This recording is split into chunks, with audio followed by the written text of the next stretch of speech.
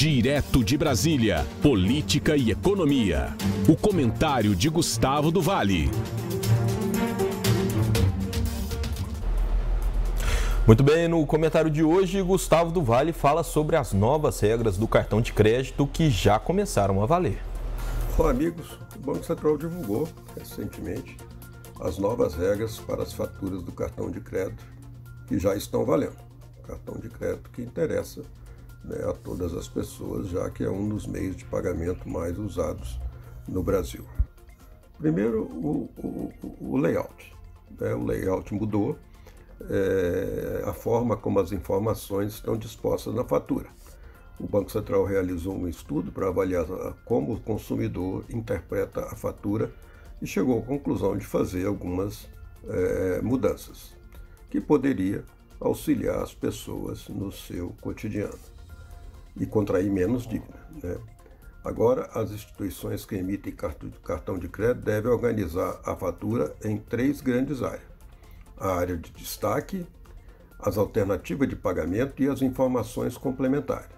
A área de destaque deve ser a parte mais chamativa da fratura, é onde fica o valor total e a data do vencimento, e o limite de crédito total.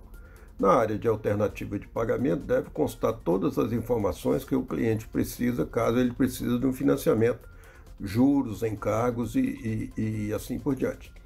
Por último, na área de informações complementares estarão informações como o valor das compras, parcelas, tarifa, data de encerramento da fatura e, e outras informações. O banco deverá oferecer obrigatoriamente na contratação pelo menos três datas possíveis de vencimento da fatura. E essas datas precisam ter sete dias de diferença entre elas.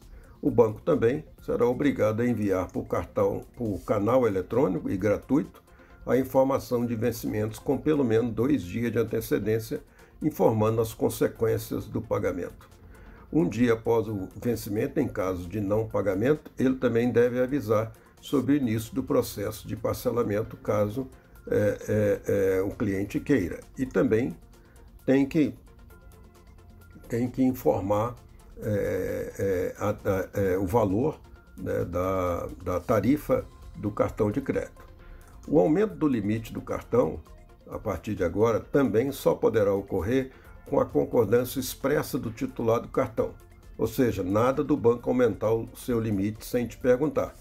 Finalmente, na forma de pagamento da fatura, o total deve aparecer, o total do pagamento deve aparecer é, em destaque tanto no, no formulário impresso quanto no formulário padrão é, no aplicativo ou no sistema eletrônico. E a possibilidade de débito da conta da, da fatura, caso o, o, o, cliente possua conta na mesma instituição financeira onde tem o cartão de crédito, deve ser sempre oferecida ao cliente, que poderá ou não escolher essa forma de pagamento. Bem, essas novidades já estão em vigor e é importante que todos tenham conhecimento dela. Grande abraço a todos e até a próxima oportunidade, se Deus quiser.